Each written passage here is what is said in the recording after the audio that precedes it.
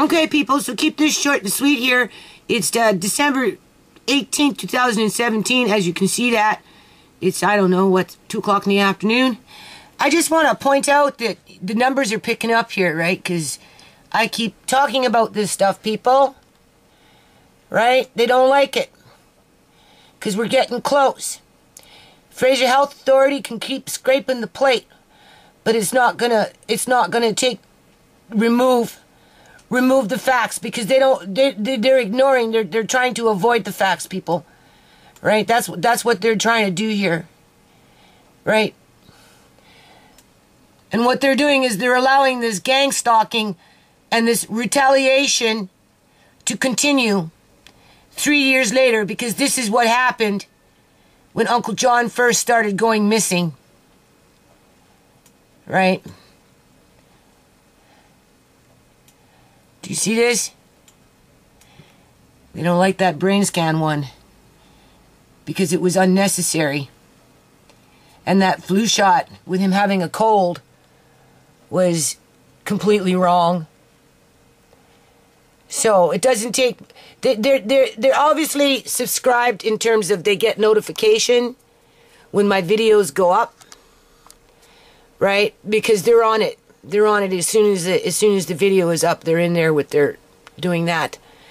But you see, it's not just that though, people. It it spills over into the city of Surrey because you know they phone, they make complaints. You know they phone to MCFD, they make complaints. So it's not just simply thumbs down, and this is what Fraser Health Authority needs to acknowledge and take responsibility for, because at the end of the day, you know, the services that they gave to Uncle John, never mind the services that they gave to him in 2007, but the services that they gave to him in 2015 were very, very negligent. And not only that, but they were abusive to the point where that abuse has spilled over to his immediate family and it's continued on for a period of three years, right? Because, you know, it's, it's not being dealt with and these people don't want to get caught for what they've done on multiple levels, whether it's a corporate level or whether it's on a personal level, right?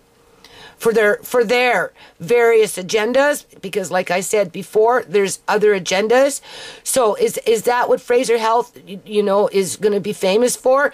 You know, a patient, a person goes into the hospital, becomes a patient, and then from that their immediate family becomes a target to be abused for the rest of their lives to cover up the dirt that manifested under the watchful eye of a health authority that is employed by a government to uh, manage its employees.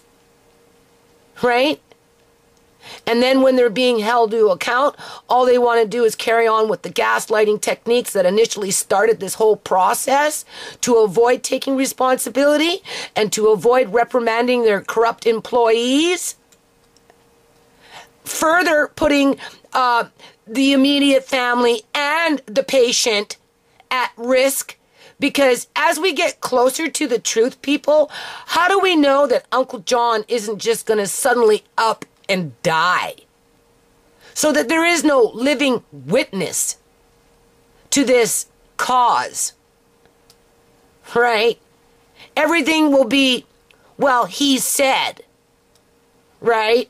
When in fact, he didn't say, people. Because if he said, you would hear it.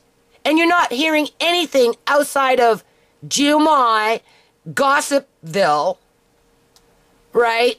And Rumorville to implant lies, right, into the people that are following this. So I just want to point this out. Like Fraser Health Authority, you're putting my life in danger. You've been putting my life in danger for almost three years now. You've put my family's life in danger for almost three years now. Not to mention, you've provided this family as a whole, including Uncle John, with poor services for a very, very long time because my first letter to the Minister of Health was dated back in 2005, which at some point I will find and I will read that as well. So 2005, 2007, 2008, and this is what's documented, 2015, as it's clearly shown that there's gang stalking, right? Targeting of families You know, people going missing, right? Vulnerable people just up and go missing. Well, a corporation wants to sit up there and say that they had no hand in it when in fact we know that it's directly related to the corporation because if Uncle John would never have ended up in their clutches, none of this would be happening, people. Because it didn't happen until he went missing. Now, this here is not going to stop me from doing what I'm doing. And it pisses them off. That's why they're starting to come in more. Right? Because they're trying to derail me. I mean, how do we know it's not Fraser Health lawyer jumping on board and putting in the thumbs down with his gaslighting method, being that he's gaslighting me in the fucking courthouse with his scraping of the plate? Right? Knowing that I can't get a lawyer because I phoned up that lawyer firm today and they want $5,000 just for the initial consultation, people, to even just get started. That's what I mean. There is no lawyer. Unless you've got eighty to a hundred thousand dollars, five thousand dollars right up front. Anything you get after that is piecemeal 15 to 20, 30 minutes of off the top advice that isn't going to solve this problem.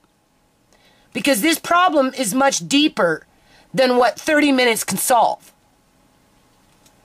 Right? and it resulted from the negligence of a corporation managing its employees and allowing nepotism and union superiority to overrule the rules, acts, and regulations. Right? For greed. And to prop up that uh, pay as you go industry that is exploiting people with money and assets as the ones with no money or assets are being tossed out in the streets regardless of their age or their circumstances in terms of health. Because the number the numbers of old people that are on low to minimal income cannot afford housing in the province of British Columbia, Canada, even though they were born in this province, lived their whole lives in this province, paid taxes in this province, and now they're finding themselves out in the streets because they're not like an Uncle John where their assets can be, um, you know, seized, tapped into, redirected into those pay as you go services that is destroying this province. Basically, and putting families at risk to being targeted, injured. I cannot go into the healthcare system, people. I can't. My flag, I told you, my file is flagged right? Not only did they flag my healthcare file, but they also tapped into my banking information. Because when they started robbing John's bank account, they got the information for my banking. And it, it started with Fraser Health Authority people, with them stalling for time so that mail fraud could occur, so that they could carry on with bank fraud, and then retaliate accuse me of this, accuse me of that, prosecute me, deem me guilty, right? Punish my children, punish my grandson, right? Punish John, isolated him, made it so that he was an abused man that couldn't speak out, just like they want me to not to speak out. They don't want me speaking out, people. Because if I speak out, what happens? This is what happens. You get more, you get more abuse right? They want you to suffer in silence. They want you to suffer in silence, people. Right? That's what they did.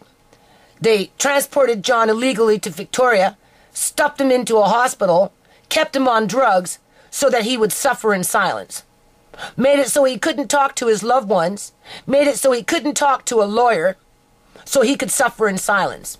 As they went on the attack, against myself, my persons, my safety, my well being, right along with the rest of my family, who is Uncle John's immediate family, who he loved and wanted to come home to. And it's clear, clearly stated, time after time, over multiple videos, that he wanted to come home. He even told social worker, don't leave them out. Don't leave them out. I want to go and be with that family. I've been with them for a long, long, long, long, long time. They've been with me forever. This is what he told the social worker. And the social worker didn't give a fucking shit about it because her agenda was a different agenda.